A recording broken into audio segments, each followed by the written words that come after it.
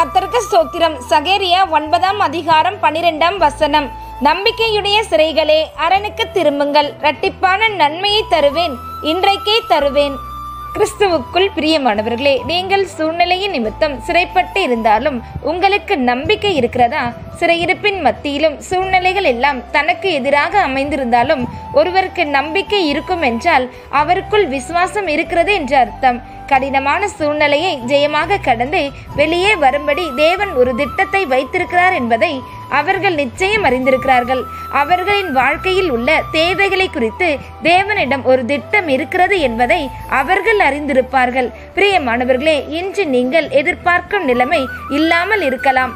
ஆனால் நம்பிக்கையோடு இருங்கள். காரணம் எல்லாவற்றையும் தேவன் மாற்றுவார். தேவன் மீது நம்பிக்கையாய் இருங்கள். இரட்டிப்பான விதத்தில் திரும்ப மீட்டு கொடுப்பேன் என்று இந்த வசனத்தில் தேவன் வாக்கு பண்ணியிருக்கிறார். தேவன் ஒன்றை மீட்டு கொடுக்கும்போது அது முன்பு எப்படி இருந்ததோ அந்த நிலையில் அவர் மீட்டு கொடுப்பதில்லை.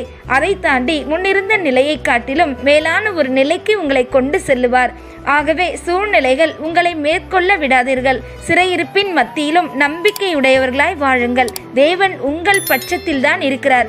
அவர் இரட்டிப்பான நன்மையை தருவார். அது இன்றைக்கே தருவார். அமேன் ஜெபம். எங்கள் அன்பின் பரலோக பிதாவே உமக்கு ஸ்தோத்திரம். ஆண்டவரே உம்முடைய வார்த்தைகளை அனுப்பி வாக்கு பண்ணியிருக்கிறீரே. உமக்கு நன்றி செலுத்துகிறோம். எங்களுடைய சிறையிருப்பின் மத்தியிலும் நம்பிக்கையோடு வாழும்படி கிருபை தாரும். எங்களை குறித்த உம்முடைய நல்ல திட்டங்களை நிறைவேற்றி அருளும். நாங்கள் விசுவாசத்தோடு உம்மை நோக்கி பார்க்கிறோம். எங்களை நிறைவாய் ஆசீர்வதியும். தேவன் நாமம் மகிமைப்படுவதாக இயேசுவின் மூலம் ஜெபிக்கிறோம் எங்கள் நல்ல பிதாவே.